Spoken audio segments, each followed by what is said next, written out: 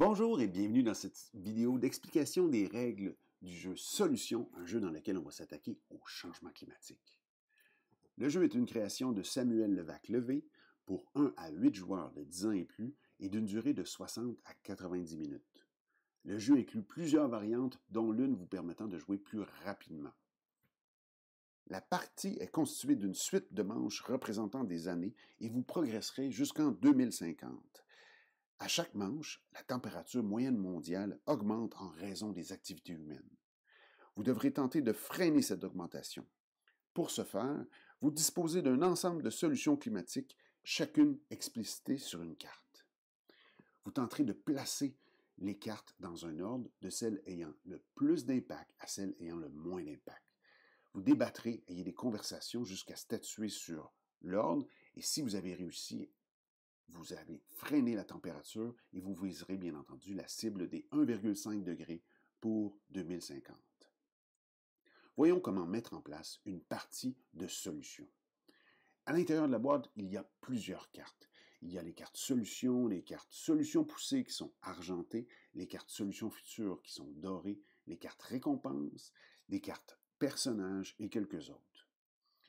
Dans cette vidéo, je vais vous expliquer le mode de base. Donc, si vous ne jouez pas dans le mode avancé, vous allez repérer parmi les cartes récompenses la carte science accélérée et percée majeure que vous allez retirer. Vous retirez également les cartes personnages, les cartes argentées et les cartes dorées. Il vous restera donc les cartes solutions, qui sont nombreuses, les cartes récompenses, les cartes boucle de rétroaction, les cartes événements ainsi que les cartes événements bleus.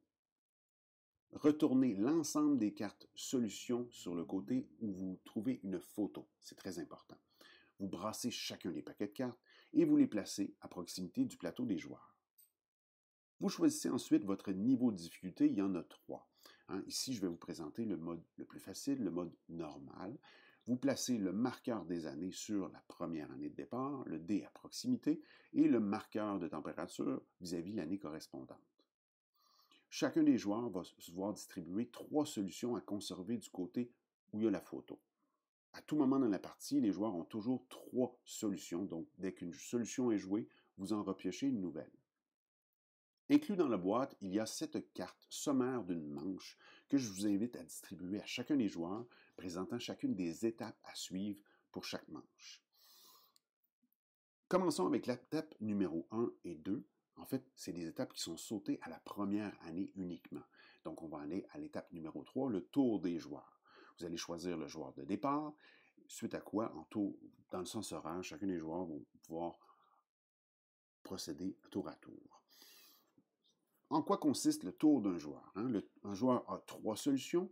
Il devra choisir l'une qui va présenter juste au bas du plateau vis-à-vis -vis, euh, la flèche qui va de 1 à 76. Par exemple, on a ici euh, un joueur qui pourrait choisir la carte solution énergie nucléaire et la présenter simplement. Au besoin, il pourrait euh, expliquer pourquoi il a choisi cette carte plutôt qu'une autre. La première solution n'est pas dévoilée, comme on le voit sur la carte sommaire d'une manche. On passe donc au prochain joueur qui va faire pareil, qui va donc choisir parmi ces solutions l'une d'entre elles. Admettons qu'il choisit permaculture. Il doit choisir maintenant s'il la place à droite ou à gauche de la solution existante. Soit il considère qu'elle a moins d'impact, soit il, la place de l'autre côté parce qu'il considère qu'elle a plus d'impact. Hein, c'est l'ordre qui va compter. Au besoin, vous débattez et au besoin, vous votez en équipe parce que vous décidez de la placer d'un côté plutôt que l'autre. Vous dévoilez ensuite les solutions et dans ce cas-ci, c'est réussi. Hein, la solution permaculture a plus d'impact sur le climat que la solution énergie nucléaire. C'est donc au prochain joueur de jouer. Hein. les cartes vont aller de 1 à 76, 1 étant le plus d'impact, 76 le moins d'impact. Le prochain joueur peut passer. Il peut également se risquer et présenter une nouvelle solution. Admettons qu'il présente une nouvelle solution, il choisit d'abord une solution, il la positionne. Il positionne soit il considère d'un côté, de l'autre, il peut même l'intercaler à l'intérieur de solutions déjà présentées. Débattre encore une fois, voter au besoin et dévoiler la solution. On a ici deux solutions qui étaient correctement placées. On dévoile la nouvelle et malheureusement, l'aménagement cyclable est légèrement, a légèrement moins d'impact que la solution énergie nucléaire. Donc, c'est raté. Ça va donc arrêter le tour des joueurs qui peut se produire des trois façons suivantes. Donc, soit une solution est mal placée, soit deux joueurs ont passé, ou soit le nombre de maximal, maximum de solutions à jouables dans cette année en cours a été joué. Pour la solution ratée, malheureusement, vous allez retirer une réussite. Il vous resterait donc, dans cet exemple, une seule solution correctement placée. On passe à l'étape numéro 4, qui consiste à comptabiliser et à baisser le marqueur de température. Ici, on a une solution correctement placée. On va donc baisser le marqueur de température d'un échelon sur le thermomètre. On passe à l'étape numéro 5, nouvelle année et augmenter. Simplement avancer votre marqueur année d'un échelon suite à quoi vous observez, hein, sous l'échelle des années, c'est inscrit trois échelons par manche, qui nous signifie ici d'avancer le marqueur température de trois échelons vers le haut. Oh, ça se réchauffe. On passe maintenant à l'étape numéro 1 qui consiste à observer où est rendu votre marqueur euh, de température. Si à ce moment, le marqueur est rendu dans l'une des sections identifiées avec un dé enflammé, vous devrez rouler un dé, rouler le dé, pardon, et si vous obtenez le 6 ou éventuellement le 5 ou le 6 ou éventuellement le 4, le 5 ou le 6, vous avez déclenché une boucle de rétroaction.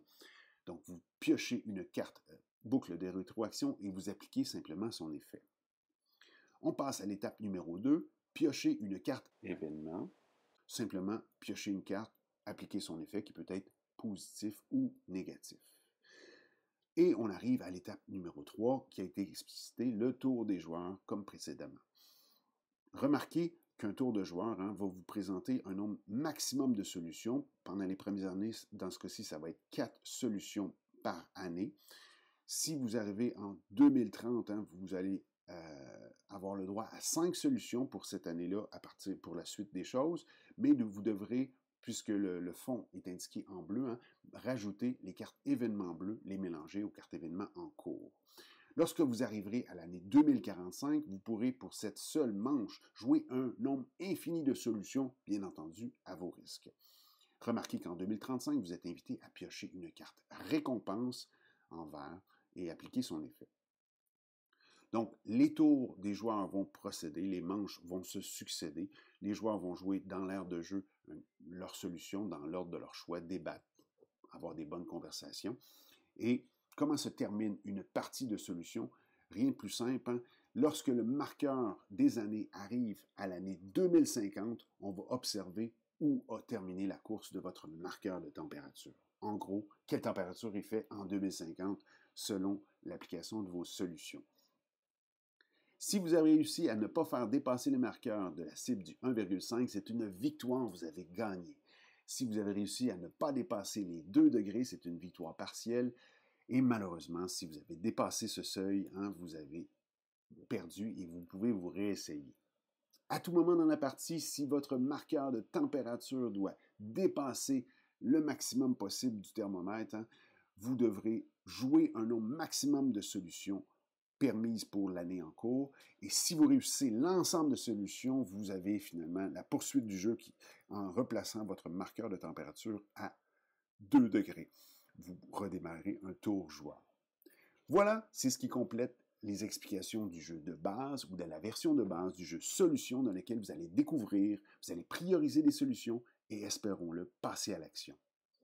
Je vous invite à aller visiter le, site web solutionthegame.com dans lequel vous allez avoir plein de détails, des détails approfondis de chacune des solutions qui sont tirées euh, du projet Drawdown. C'est des solutions réelles.